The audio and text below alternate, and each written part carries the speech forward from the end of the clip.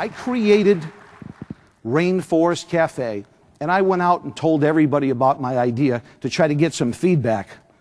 For the most part, that was a huge mistake. what people said to me when I told them that I wanted to have live tropical birds adjacent to food, and I wanted to have cascading waterfalls and soothing mists, and I wanted to have animated animals, and I wanted to have uh, uh, all of these weird things that no one's ever thought of before. They said that it was absolutely impossible, that, it, it couldn't be done. And they asked me to show them architectural diagrams. Steve, can you define further what you'd really like to do? Uh, so I decided to take it a little bit further. I transformed my St. Louis Park, Minnesota home into the Rainforest Cafe. now, this is a suburban neighborhood. You have to imagine this in Minneapolis. I, I think I'm the only one on earth that used to shovel the snow off the grass so I'd have the green come through. I had a neon paradise sign. I had pink antifreeze in my waterfalls so they wouldn't freeze. You can't imagine what that looked like at night. The neighbors thought that I had lost my mind, literally. Um, uh, they hired a psychiatrist, and he would call me once a week, and he would say, Steve, the neighbors already chipped in, they already paid for it. They really think that you, uh, you need psychiatric help. Would you come and just talk to me, please? Uh, let, let me be worthy of the money that the neighbors chipped in. I even had a, an elephant uh, that you can see in the picture there uh, in my driveway. This was the driveway to my suburban home. One of the nice things, though, is that elephant was the inspiration for the elephants that are outside the Rainforest Cafe now. Uh, every Rainforest Cafe in the country has an elephant that, is, uh, that greets our guests. And uh, that idea came from my driveway as well as many others. I even built a tropical bed in my home that looked like a, uh, came out of a, a, rainforest. It looked like it was built out of a tree house. And I had waterfalls and rock formations. And uh, if you've ever been to a rainforest cafe, uh, I embrace them here at, uh, at Disney World. I could tell you that we have lightning and thunderstorms every 22 minutes. And I had lightning and thunderstorms in my bedroom not many dates. Nobody wanted to be among lightning and thunderstorms and a nut that a psychiatrist would call every single week.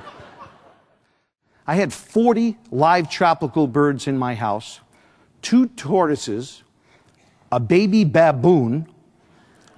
By the way, nobody should, uh, should have baboons. They, they belong in a zoo. My electric, phone, and gas were turned off every single month for three years. I'm not proud of that. It was a very, very hard time. Uh, I used to look in the mirror at night. Sometimes I'd cry pretty hard. And then I'd laugh at myself and realize I was probably psychotic. But I'd wake up the next day and I'd laugh and I'd be encouraged and I'd get back on my bicycle and I'd ride it again. I'd get back up and I'd keep fighting over and over and over again because I knew what I had. I knew that it would be embraced by families around the world. I knew that it was a phenomenal concept and it was worthy of what I was going through. That's the inside of a rainforest cafe. I can't tell you how proud we are, 17 years later, to still have the Rainforest Cafe entertaining hundreds of thousands of families. My father was watching the World Championship of Poker in Las Vegas, where he lived. This gentleman named Lyle Berman was playing for the World Championship of Poker. He had won seven times. He had won seven gold bracelets for playing in the World Championship of Poker. And uh, he was sitting at the table playing, and all of a sudden, the announcer said, Ladies and gentlemen, from Minneapolis, Minnesota, Mr. Lyle Berman. Lyle got out of his seat because he had to use the restroom. So he went to the restroom, And my father seized the opportunity and crawled under these red velvet security ropes that were surrounding the World Championship of Poker. You have to imagine this in the middle of Las Vegas. There's tens of thousands of people standing watching the World Championship of Poker, and my dad snuck under the security ropes and sat in Lyle Berman's chair. Lyle comes back from the bathroom and he says, Sir, are you out of your mind? I've got $330,000 in chips sitting in front of you. You're sitting in my chair. I'm playing for the World Championship of Poker. There's security guards all over the place. Please get out. Otherwise, I'm going to have to call security. And my father said, I'm not leaving. Lyle said, Sir, you're crazy. You're going to be arrested. My father took out a $50 bill out of his pocket and he handed it to Lyle and he said, Please, I'm begging you. My son created this Rainforest Cafe, and it's the most incredible thing you'll ever see. And you're from Minneapolis. You really need to see it. Lyle said, You're out of your mind. I just told you I'm playing for the World Championship of Poker. Well, what is this about a Rainforest Cafe? And uh, with that, Lyle gave him back the $50. He gave him his business card. He said, Call my secretary, Joan, and set up an appointment. And my father left. He picked up the phone. It's now 3 o'clock in the morning. The phone rings in my home. I answered it, of course, in my underwear. It's 3 o'clock in the morning. And I said, Hello. I was a little bit angry. I thought someone had the wrong number. My father said, Son, grab a pen. I said, Dad, are you in trouble? Are you in jail? Uh, did you get hit by a car? Are you in a car accident? What's wrong? He said, just grab a pen and write this name down Lyle Berman. I wrote it down and he said, Do you have it? Do you know how to spell it? I said, Dad, I got it. Lyle Berman. He said, Have you ever heard of him? I said, No, Dad, I've never heard of Lyle Berman. He said, Well, you better get to know him because he really wants your Rainforest Cafe. Lyle was my angel investor, my mentor, founder of Grand Casinos and the World Poker Tour, pretty famous guy. And uh, he went to my home 27 times. 27 times over three and a half years. The first time he went to my home, he came in with a Grand Casino's coffee cup at 9 o'clock in the morning. I told his secretary that he had to come after 6 o'clock at night when it got dark because I wanted to take advantage of the two gasoline generators that I had in my backyard, the 3700 bright orange extension cords running through my home, so he could see all the specific things that I had that needed nighttime to see them. He didn't listen, he didn't care. He thought I was just a nut. And he came into my, my home at 9 o'clock in the morning with this coffee cup in his hand.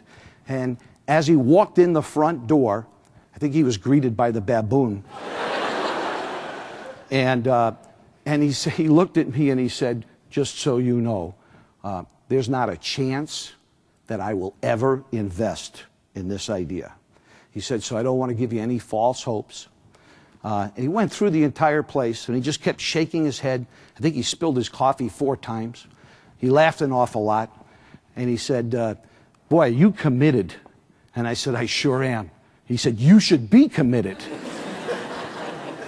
And as he was leaving, he said to me, Steve, would you mind if I brought my kids back next week to take a look at this? I call that the conditional no. And I said, absolutely. And every day I would spend more money getting it ready. I'd put more greenery in the ceiling. I'd find a hole here or find a hole there. My attention to detail was the most important thing for me. It took three and a half years. Week after week, he'd bring other visitors back. He'd bring, one day, he, he uh, rented a bus and he brought his entire office uh, to my home. You can imagine, I lived in a suburban neighborhood. Imagine seeing all these cars week after week after week, and then the bus. 27 times over three and a half years until Lyle Berman. Finally, I walked into his office one day and I said to Lyle, I said, I've had it.